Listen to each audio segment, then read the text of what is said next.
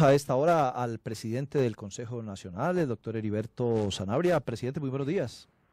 Muy buenos días, un cordial saludo a todo su equipo periodístico, técnico y a todos ustedes de todo el país. Bueno, lo escuchan en todos los rincones del país, eh, doctor Sanabria, y lo llamamos por lo siguiente, es para las próximas elecciones los votantes tendrán nuevamente que firmar y poner una huella.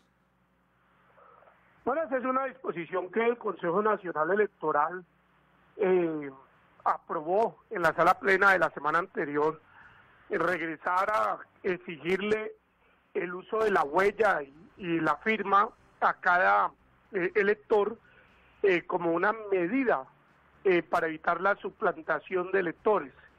normalmente se ha venido de manera recurrente presentando que algunas personas cuando eh, acuden a la mesa de votación, se encuentran que eh, ya aparece como eh, que se hubiera votado. y la persona pues no tiene otra posibilidad que ir a la registraduría, ir a una registraduría auxiliar o zonal, ir a una inspección de policía, poner la queja, ir a una mesa de justicia que se establece en el puesto electoral y, y quedarse, pero se le termina la jornada electoral sin poder hacer uso de ese derecho constitucional a elegir. Eh, para y no hay ningún medio probatorio eh, que indique que esa persona no haya votado y que haya sido suplantada. La única manera, el único medio probatorio que el Consejo Nacional Electoral considera que en este momento es viable es eh, implementar el uso de la huella y la firma del elector en el formulario E11. Lo ideal es tener una identificación biométrica en cada mesa electoral en Colombia. Serían 116 mil aparatos biométricos en Colombia. En este momento la registraduría solamente dispone de 15 mil o 20 mil. Eh, sería una suma de dinero presupuestal muy elevada la que se requiere. Por eso tenemos que utilizar este medio, eh, eh, este método arcaico, obsoleto como el de la firma y el de la huella, pero lo ideal es que se utilizara un, equipo biométrico por cada mes electoral o un equipo de identificación eh, facial, ojalá en las elecciones eh, próximas de, del 2022 eh, y se pueda establecer en Colombia la identificación facial para evitar la suplantación de los electores. Es decir, magistrado, según le entiendo, que la decisión se toma a causa de que no ha sido posible, digamos, implantar en todo el país ese sistema de biometría? Eh, no ha sido posible. En este momento hay un sistema biométrico, pero es en, en los puestos electorales. En, eh, en 20 mil puestos electorales eh, se tienen 20 mil equipos, de 15 mil a 20 mil, y son 116 mil mesas.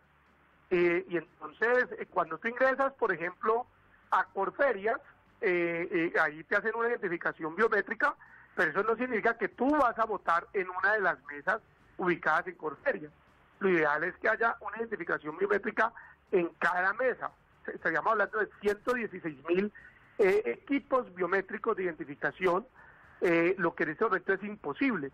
Lo, óptimo es que el país eh, ingrese a la identificación facial, como tú lo haces cuando ingresas a una aplicación digital en tu teléfono eh, la lectura de tu rostro es suficiente para acceder a cualquier aplicación eh, eh, digital. Lo ideal es que cuando una persona llegue a la mesa de votación hubiese, hubiese un equipo de identificación facial para tener la plena seguridad, la plena garantía que esa persona corresponde a ese número de cédula, a ese documento de identidad y de esa manera nosotros evitar la suplantación de los electores. Desde el ¿Cuándo se había suspendido esto de la firma y la huella? Desde antes del 2010. ¿Y qué se argumentó en ese eh, momento, magistrado? Que bueno, agilizar, agilizar, agilizar el proceso de, votación. Recuerde que el hecho de que una persona tenga que firmar, colocar la huella, pues eso significa un poco más de, minutos eh, en, el momento de...